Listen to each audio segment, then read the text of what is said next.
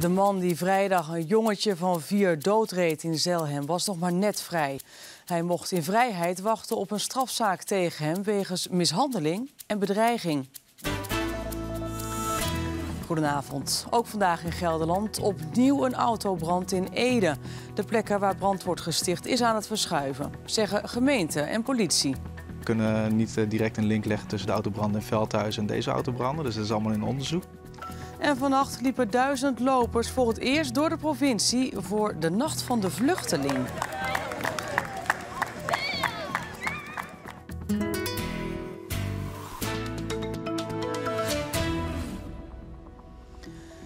De Doetinchemmer die het dodelijk ongeluk veroorzaakte in Zelhem was net vrijgelaten in afwachting van zijn rechtszaak. De man moet terechtstaan voor onder meer mishandeling, bedreiging en inrijden op een politieauto. Hij botste vrijdag met een gestolen auto op een auto met een gezin uit Stolwijk. Een jongetje van vier kwam erbij om het leven. De ouders en het zusje raakten gewond. Ik denk dat het voor de familie die dit is overkomen afschuwelijk is. En dat weten we allemaal.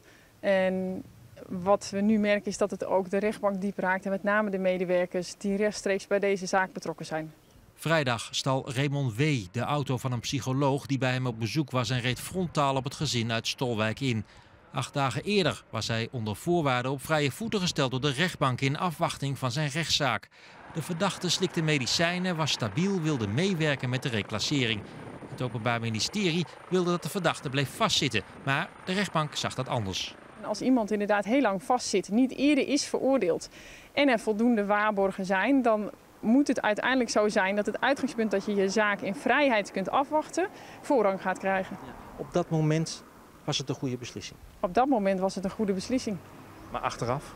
Achteraf zijn de gevolgen afschuwelijk. En ik denk dat iedereen zich dat realiseert. De reclassering geeft één dag voor het ongeval aan dat het na de vrijlating snel bergafwaarts gaat met de man. Ze adviseren om de man te laten opnemen. Nog diezelfde dag vraagt het Openbaar Ministerie hierom bij de rechtbank. Nou, dat verzoek kwam binnen op donderdag 16 juni. En toen is er gelijk wel gekeken wanneer dit ingepland kon worden. Want dat moet op een zitting met de advocaat en rechters erbij besproken worden. En ja, dat is nog voordat dat ingepland kon worden, was het al te laat, is het ongeval al gebeurd. In het holst van de nacht vertrokken ze vanuit Nijmegen richting Arnhem. Duizend lopers voor de Nacht van de Vluchteling. De vaste editie van de Nacht van de Vluchteling is tussen Rotterdam en Den Haag. En nu, dit jaar voor het eerst, is de sponsorloop ook in onze provincie. In de loop van de ochtend arriveren de lopers in Arnhem. Dan hebben ze 40 kilometer in de benen na het vertrek afgelopen middernacht vanuit Nijmegen.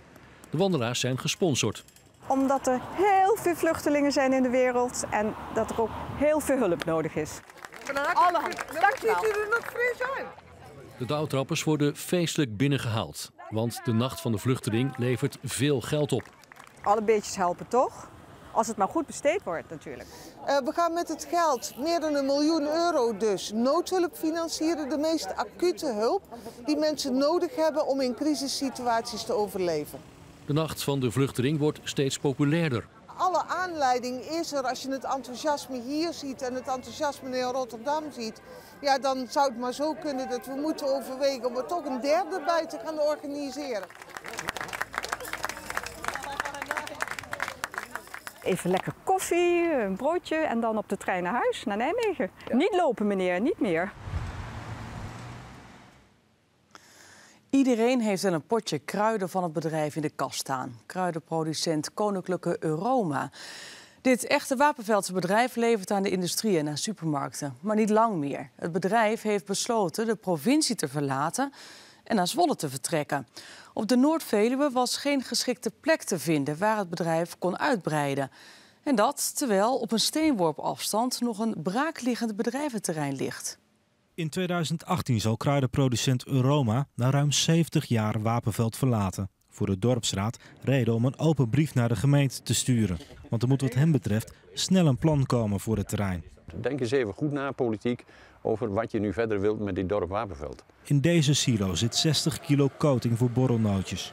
Een van de producten die Euroma maakt. Dat wordt gemaakt door zo'n 220 mensen die er werken.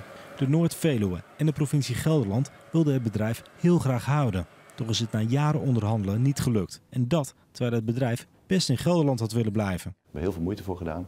Maar helaas, eh, helaas kan het niet. En hebben wij een keuze gemaakt om naar Zwolle te vertrekken, te verhuizen. Hier had het bedrijf moeten komen, in Gelderland. H2O is het gezamenlijk bedrijventerrein van Hattem, Heerde en Oldenbroek en staat nagenoeg leeg. Tot grote ergernis van raadsleden. D66 GroenLinks uit Heerde vroeg een spoeddebat aan over het vertrek van Euroma. Het bedrijventerrein H2O is, is, uh, is in de benen geholpen, bedacht voor uh, situaties zoals Euroma. Ja, dus, dus lokale bedrijven die willen uitbreiden. Ja, dan is het dubbel pijnlijk dat, uh, dat je het dan niet lukt. Het probleem is de milieuklasse. Op H2O ligt nog geen bestemmingsplan voor de hogere milieuklasse. En de procedure duurt maximaal anderhalf jaar. En de uitkomst is onzeker. Dat gaf na jaren overleg de doorslag. Euroma vertrekt naar Zwolle.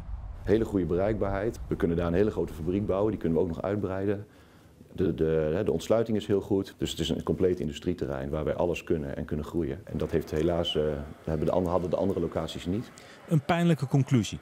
Ook voor de begroting van de gemeente. Uh, op het moment dat er zo'n grote klant voorbij komt, wat, uh, wat zo'n boost kon geven aan dat, aan dat industrieterrein. Ja, dat, dat heeft wel grote financiële consequenties, ja. ja. En daar zijn we nu mee bezig om die inzichtelijk te krijgen. Volgende week maandag debatteert de gemeenteraad van Heerde over het vertrek van Euroma. En straks de sport met een grote teleurstelling voor Tijmen Kupers. Hij was vanmiddag onverwacht dicht bij een grote stunt, maar kwam 500ste tekort voor de Spelen van Rio. Hetzelfde politieteam dat de branden in de Edeswijk Veldhuizen onderzoekt, kijkt ook naar de andere autobranden in Ede. Dat zegt de gemeente. Het zijn 19 branden in twee maanden tijd. Ze, zijn ook, uh, ze zien ook dat de branden zich van Veldhuizen verplaatsen naar andere wijken. Vannacht was het weer raak voor de deur van een stel dat voor de tweede keer hun auto in vlammen op zag gaan. Op deze plek aan de Kookakkerweg in Ede ging de auto in vlammen op. Dat vind ik heel erg. Dat, uh, ja, dat hoort zeker bij de tijd, maar ik ben er niet zo blij mee. Het is echt schandalig, vandalisme.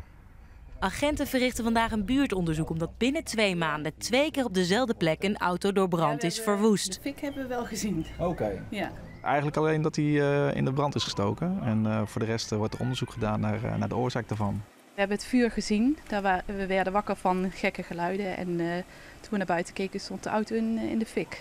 Ik word er niet bang van of zo. De kinderen vinden dat wel vervelend. En dit keer dus niet in de beruchte Edisewijk Veldhuizen, waar vaker autobranden voorkomen. We kunnen niet direct een link leggen tussen de autobranden in Veldhuizen en deze autobranden. Dus dat is allemaal in onderzoek.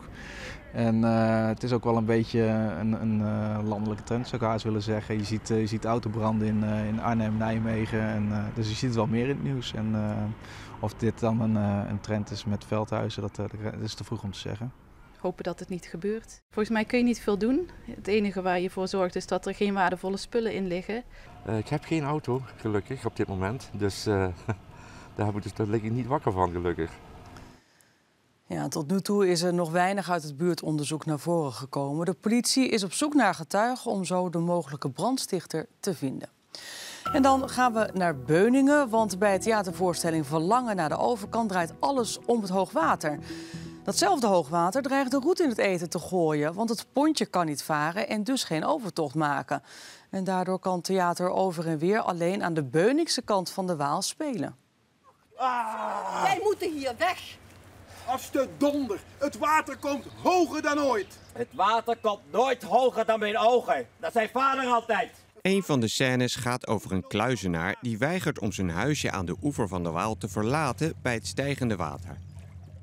De scène is gebaseerd op de dijkdoorbraak die in 1805 in dit gebied plaatsvond. Het idee voor theater Over en Weer ontstond een paar jaar geleden aan de oever van de Waal. We keken naar de overkant, over de brede Waal en dachten van, je komt er eigenlijk nooit. En dat is wel gek. Laten we daar eens verhalen mee gaan maken. De verhalen zouden worden gespeeld aan beide kanten van de Waal. En ook tijdens de overtocht met het voetveer zou het publiek vermaakt worden. Maar door het stijgende water van de laatste dagen kan het pontje niet varen. Het, het zit niet mee, het water is hoog. En uh, we zijn wel gewend met hoog water in de winter. Maar nu hebben we opeens ook nog hoog water in juni. En dat is wel gek.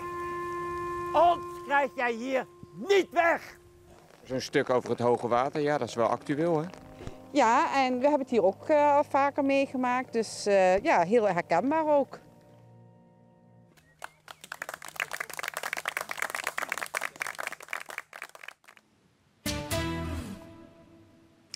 En voor de sport is in de studio Richard van der Made. Ja, Richard, met veel gelders uh, sportief succes.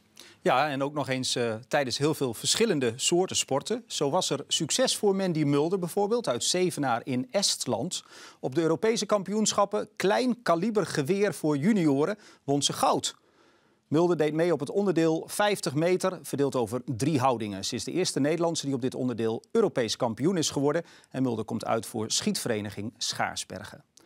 En dan Wilco Kelderman uit Barneveld. Hij kan tevreden terugkijken op de Ronde van Zwitserland. De kopman van Lotto Jumbo is zojuist achtste geworden. Vanmiddag was de slotetappe, die was ingekort vanwege het slechte weer. Kelderman zakte nog twee plaatsen. Hij reed ook één dag in het geel, maar kon die leiderstrui niet vasthouden. De 25-jarige wielrenner staat ook aan de start in de Tour de France. En dan atletiek. Tijmen Kupers uit het Achterhoekse Lengel. Hij is er net niet in geslaagd om de limiet voor Rio te lopen.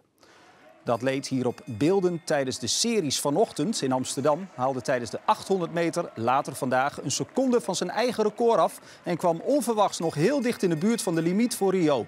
Hij liep 1.45.25, waarmee Kupers 500ste tekort kwam voor de Spelen. Wel werd hij weer Nederlands kampioen. En over twee weken heeft Kupers nog een kans tijdens het EK. En Suzanne Kuiken, zij is vanmiddag Nederlands kampioen geworden op de 5000 meter. In Amsterdam was de 29-jarige Nijmeegse de sterkste in de finale. Kuiken klopte haar grootste concurrente Jip Vastenburg uit Apeldoorn. Kuiken wilde zoveel mogelijk zich sparen nog voor de Spelen in Rio de Janeiro. Ze zette trouwens een tijd van 15 minuten, 37 seconden en 26 honderdste neer in Amsterdam. Dat was vandaag. Gisteren waren er ook Gelderse successen op het NK. Dit zijn de laatste meters van Dennis Licht uit Apeldoorn.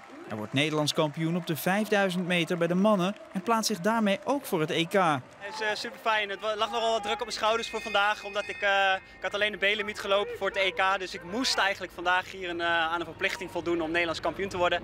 Dat is gelukt. Dus wel opgelucht dat ik de titel te pakken heb en daarmee gelijk een ticket voor de Europese kampioenschappen hier op dezezelfde locatie.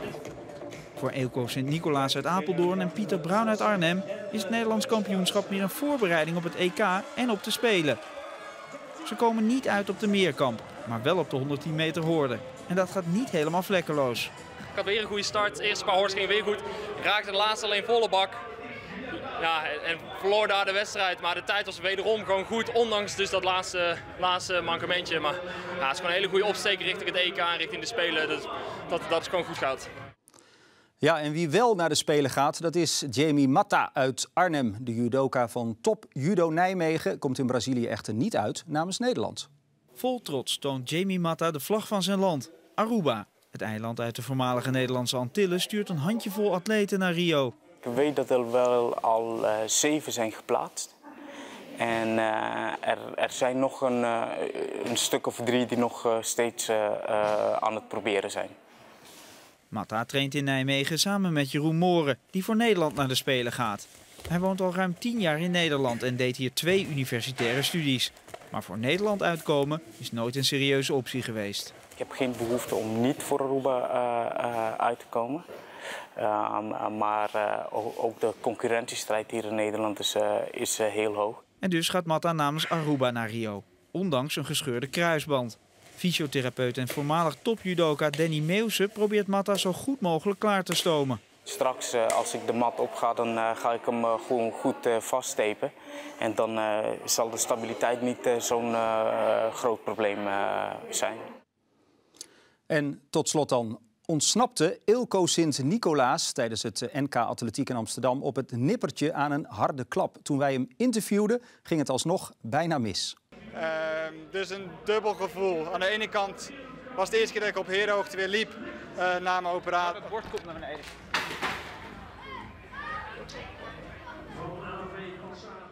Ja, en met hulp van onze alerte verslaggever bleef Sint-Nicolaas letsel uh, bespaard, maar wel. Wat een alerte reactie van Goed, Maurits. Richard, dankjewel. Gaan wij nog naar het weer. Het was een aardige dag vandaag. Wolken en wat zon. Jordi, is het weer morgen vergelijkbaar?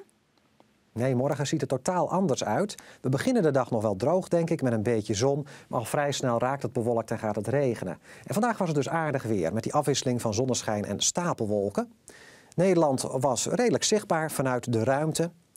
Maar er komt dus een uitgebreide storing aan via de Britse eilanden. Een groot pakket met bewolking en regen. En morgen ligt dat regenfront een tijdje boven onze omgeving. Ja, dan weet je het wel. Dan is het al een lange tijd regenachtig. En bovendien gaat de temperatuur wat omlaag.